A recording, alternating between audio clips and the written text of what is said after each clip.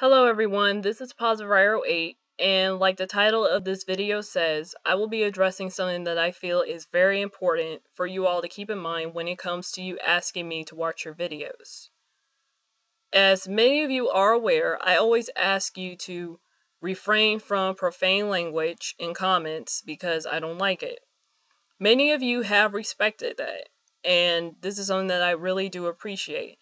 But now I've noticed an issue that keeps reoccurring some of you have directed me to videos where you're using foul language, using God's name in vain, or some other type of negative content that I wouldn't feel comfortable watching.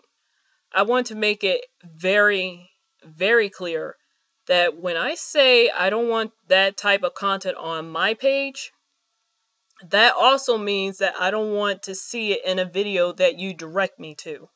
Now, I'm not trying to tell you how you should format your channel or your videos. All I'm saying is that if you direct me to a specific video, please be mindful that I'm a Christian who doesn't want to hear that type of language or watch negative content. This applies to everyone who comes onto my channel, whether it's your first time coming here or if you've been here for a while. So, that's all that I wanted to say. Thank you for your time for watching this, and I hope you have a wonderful, safe, and blessed day.